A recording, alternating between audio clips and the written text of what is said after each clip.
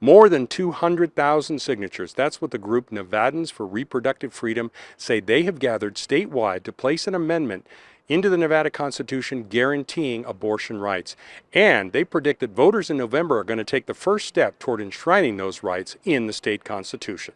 Supporters of the petition needed just more than 102,000 signatures to qualify the measure. Now the Nevada Secretary of State will review a random sample, and if enough are valid, it goes on the ballot in November. Lindsey Harmon, president of the group Nevadans for Reproductive Freedom, said gathering that many signatures in just three months shows Nevada is a pro choice state. With this constitutional amendment, Nevadans are saying enough is enough.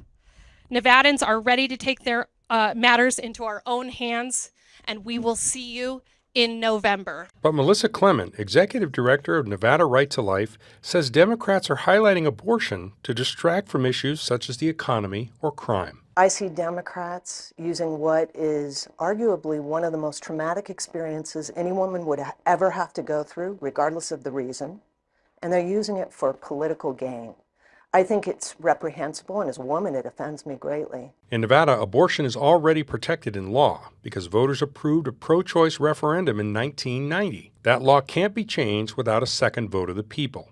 But if this amendment is ultimately adopted, abortion rights will be written into the state constitution, and changing that is a lengthy process that takes about five years. In the meantime, Nevada has seen an influx of patients from states with greater abortion restrictions, including neighboring Idaho Utah, and Arizona. Now, voters approved this proposed amendment in November. It goes back on the ballot in 2026. If they approve it then, it goes into effect shortly after that election. Reporting from the Clark County Government Center, I'm Steve Sebelius.